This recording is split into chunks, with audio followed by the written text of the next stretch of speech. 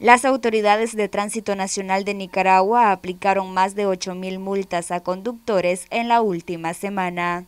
Se garantizó la regulación vial en 75 tramos de carreteras de peligrosidad a las 24 horas del día con 511 puntos críticos cubiertos, teniendo como resultado que en 96% de los tramos con cobertura policial no se registraron personas fallecidas ni lesionadas en accidentes de tránsito. Se requisaron 6.787 vehículos, entre ellos motocicletas, camionetas, automóviles y camiones. Al mismo tiempo se les dio mensajes de prevención a sus conductores y pasajeros. Aplicación de 8.457 multas relacionada a las causas principales que provocan accidentes de tránsito con víctimas, tales como el exceso de velocidad, invasión de carril, conducir en estado de ebriedad. 120 conductores de motocicletas fueron multados por conducir en estado de embriaguez.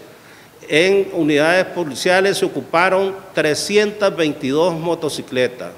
Se multaron a 2.000 a 1.217 conductores que no utilizaban el casco protector.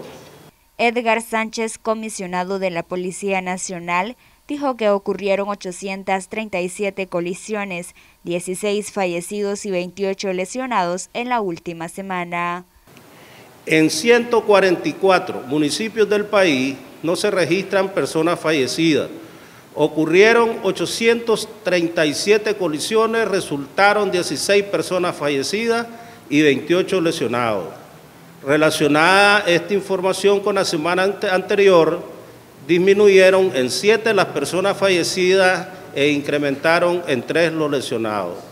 De acuerdo a su condición, de los 16 personas fallecidas, 7 fueron conductores, 5 peatones, 4 pasajeros. Las principales causas con fallecido, siete por exceso de velocidad, cuatro por estado de ebriedad, dos por invasión de carril, uno no guardar la distancia, uno conducir contra la vía y uno por imprudencia peatonal. La Policía Nacional recuerda a conductores y a pasajeros y peatones que los accidentes de tránsito se pueden evitar teniendo una actitud responsable, prudente y de cortesía. Respete los límites de velocidad y atienda las señales de tránsito. Peatones en la vía pública caminen con prudencia antes de cruzar la vía, observe a ambos lados. La embriaguez es la causa principal de fallecidos en accidentes de tránsito. Si toma, no conduzca. Motociclistas y ciclistas, usar siempre casco de protección y chalecos reflectantes.